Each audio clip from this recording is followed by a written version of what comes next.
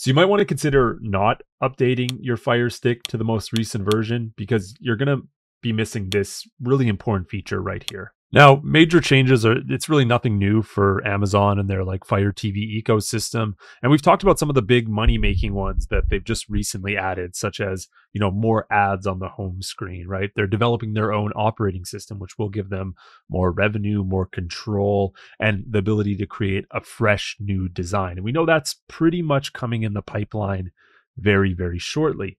But Amazon is now taking away this capability that we're going to talk about today that completely changes everything. And it actually destroys a lot of apps that he, people have spent time on creating with zero chance of them changing those apps. And the capability we're talking about today uh, is right here.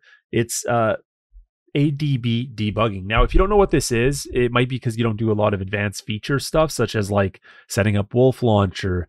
Um, you know, some of the clear cache apps require that. Some of the force close apps require that. There's quite a few different apps that use this one major app called uh, ADB Shell, and I'm going to show you it uh, in a few seconds here. But it's where you can enter specific commands and make your your Fire device do certain things.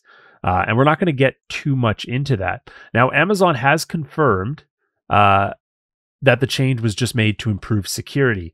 But let's be honest here the main thing they really want to do is block you from making changes to their device because they want to maximize revenue from every single user. So by changing this and completely blocking ADB debugging, this will block a ton of features that probably were affecting their revenue even if it is very very minuscule you know this will give them more rep with the even the advertisers because now they're saying hey those people are going to see it. There's nobody blocking it.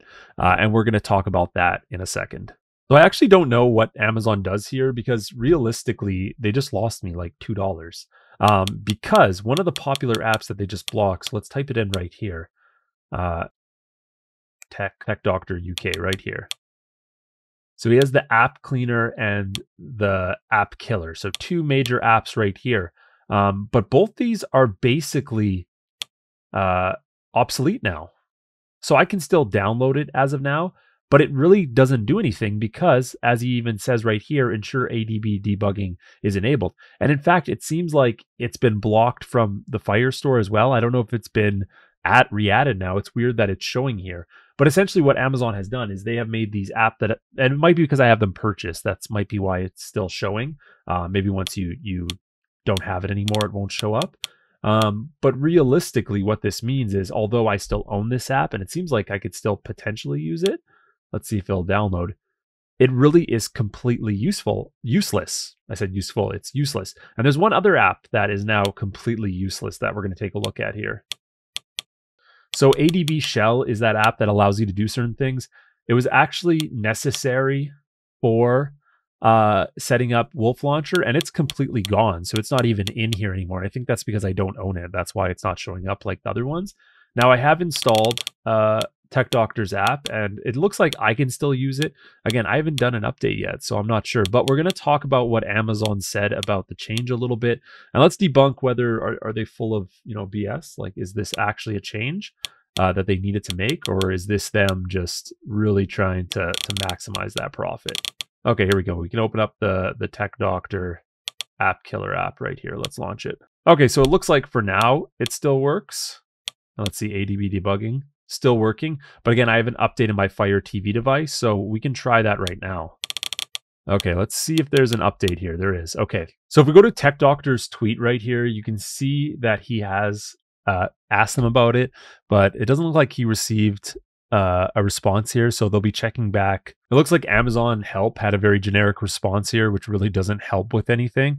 Um, but again, I think it's because my device wasn't updated, is why it wasn't showing at the very least. So here in uh, the article from AFTV News, I found this part kind of weird, and I don't know if he just worded this wrong, but he said emails shown to me from Amazon stated that Tech Doctor's apps were removed for failing tests that resulted in error message being displayed in the app, which I think is BS from what we know um, because clearly it's too coincidental with that ADB feature. Um, but also, I think it's weird if they actually showed Tech Doctor's emails to him. I don't know if they're saying the emails that they sent to him, which is still weird to share those emails with AFTV News.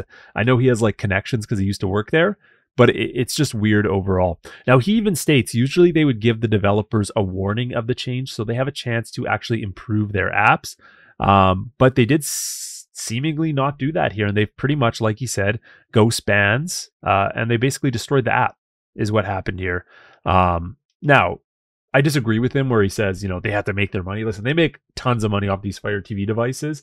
And the amount of people that are actually using their Fire TV device with ADB commands is like so slow. And even the people using Wolf Launcher, where I don't think they're losing enough money to justify this big of a response. You know, like you're creating your own operating system. Let's just leave it at that. Create your system. And then, you know, everything else is fine. But at the end of the day, they are a really large corporation and they get to do what they want with their products. So if that's what they decide to do, then that's definitely what they're able to do. Okay, so I just finished the update. Uh, that must have been a big one because it took a little bit of time to both download and install. But let's see if ADB debugging is in fact gone. Uh, it could be a little bit later too because that does happen compared to the US and Canada.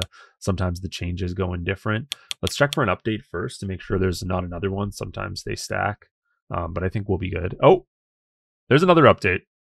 Let's get it done. Okay, we're on try number three. It just finished another update. Let's check again if there's another update. Clearly, it's been a while since I've actually updated my Fire TV device. Okay. It's saying install update again. Oh my. Okay, we are going to try this one more time. Check for updates. Your Fire tape is, TV is up to date. Oh my god. Only only 3 tries there. Okay, let's go into developers options. And it's still there. We can turn it on and off. So I don't know if this is an update that's coming or if it uh, is here on some Fire TV devices and maybe just not mine yet. Um, but for now, it's working. So enjoy it while you can. If you guys want, our sponsors down below, IP Vanish. If you want to support the channel and you enjoy this content, I get a kickback. So I do appreciate when you purchase and you get a great product that you can always cancel within 30 days if you don't like it. Thanks for watching, guys. See you in the next one.